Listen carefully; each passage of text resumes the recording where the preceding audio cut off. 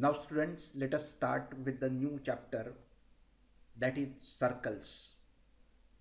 Circles is very very important topic as far as the SA 2 examination is concerned.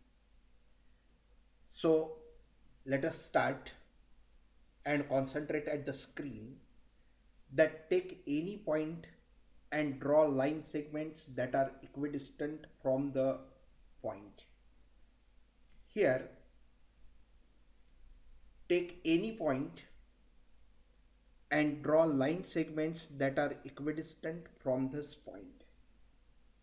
Here, this is the point we have taken and these all are the line segments we are drawn at the equidistant from the center. So all these endpoints of this line segment are at equidistant from this center and if we join all these points then we find we get a circle and therefore the circle is nothing but the collection of all the points which are equidistant from the fixed point. So all the points on this circle are at equal distance from this fixed point. Then this fixed point is called as the center. Then this fixed point is called as the center.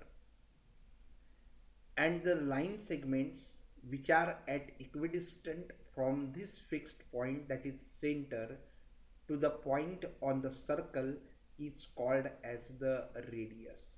So this point, this line segment will also be radius.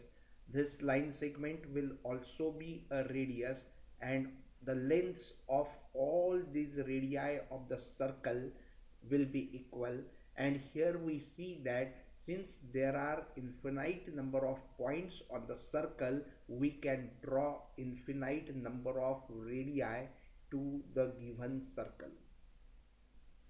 Now friends take a line. And this line is outside the circle. And now this line does not intersect the given circle it means that the line and the circle have no common point and therefore we say that this line does not intersect the circle. Now take the another line. Now here you see that this line that intersect the circle at one point. Let that point be p. It means this line is intersecting the one point of the circle. And it means that there is only one common point between the line and the circle and such line is called as the tangent. And this is the very important concept as far as the circles is concerned. Now see the another situation. Now this is the another line and you see that this line intersect the circle at this point as well as this point and therefore we say that this line intersects the circle in two points. It means it has two common points between the circle and the line. And therefore we can say that there are two common and different points between the line and the circle and then such line is called as the secant. So we can say that the secant of a circle that intersects the circle in two distinct, it means two different points. So here we can summarize this as a line has only one common point with the circle and such line is called as a tangent to the circle and secondly we can say that a line which intersects a circle at two distinct points is called as the secant of the circle. Now here we see that a line is said to be a tangent to a circle if intersects the circle at only one point. And second thing, this point of intersection of the tangent and the circle is called the point of contact. This is a circle and a tangent is drawn to the circle and we have seen previously that a tangent intersects the circle in one point only it means there is only one common point between a line and a circle. And this common point is called as the point of contact So this common point is called as the point of contact. So two things you have to remember that a line is said to be a tangent to a circle if it intersects the circle at only one point and secondly the point of intersection of the tangent and the circle is called the point of contact. Now let us see three activities.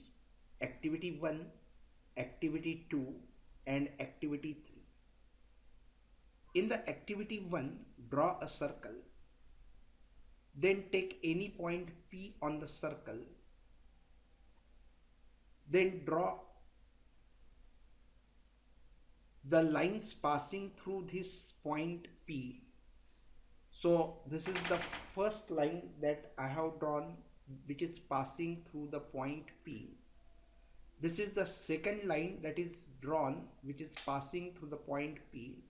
This is the third line that is passing through this point P and this is the fourth line that is passing through this point P. Here we see that this line intersect the circle in two distinct points. This line that intersect the given line a given circle in two distinct points, this line also intersects the given circle in two distinct points. This is the only line that intersects the given line in only one point. And so we can say that we can draw only one tangent to a circle at a given point of course there are infinite number of points on a circle. So we can draw infinite number of tangents to the circle. But from that point we can construct or we can draw only one tangent. Now take the activity 2 draw a circle. Draw its secant then draw different lines parallel to the secant on both the sides of the secant. Here we see that as we move away from the center, the length of the chord decreases. Here we see that as we move away from the center, the distance between the intersecting points that is the length of the chord is decreasing everywhere as we moving away from the center to the other side also if you see the same thing is happening. As we are moving away from the center the distance I mean the length of the chord is decreasing it means that the two points of intersection of the lines with circle come closer and closer. So this point of intersection that are coming closer and closer as we are moving away from the center. Then a situation comes that the length of this chord becomes zero. It means the two points of intersection coincide then there is one situation that these two points of intersection they come closer and closer and these two points intersect and this point of intersection is called as the point of contact between the tangent and the circle and this line is called as the tangent. Here we establish two facts that first a tangent is a secant. A tangent is nothing but a secant when both the endpoints of the corresponding chord coincide. When the endpoints of the corresponding chords that coincide, we get a tangent and second point we can establish that a circle cannot have more than two tangents that are parallel to the given secant to a given secant suppose this is a given secant to this given secant we can draw only two parallel tangents and not more than two parallel tangents. Now let us see the third activity. Draw a circle, then draw all the radii of the circle. We cannot draw all the radii because there are infinite number of radii but try to draw the maximum number of radii you can then draw a tangent to a circle at this point then this will be the radius and this will be the tangent and this will be the point of contact then measure this angle then measure this angle and you will see that this angle is 90 degrees. Then draw another tangent and measure the angle between the radius and the tangent. Draw another tangent, measure the angle between the radius and the tangent. Draw another tangent and measure the radius between uh, uh, angle between radius and tangent and you will find that all these angles are of the measure 90 degree and we can say that the radius is always perpendicular to the tangent at the point of contact. Here we can draw following conclusions from the activities that one and one only one tangent can be drawn at any point on a circle.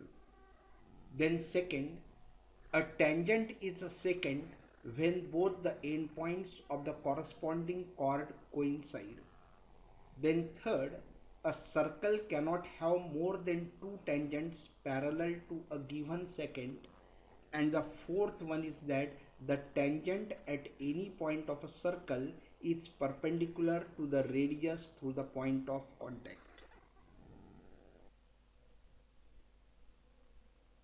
Students, here we will stop and in the next session we will see the theorem the tangent at any point of a circle is perpendicular to the radius through the point of contact and the problems that are related to this theorem. Thank you very much.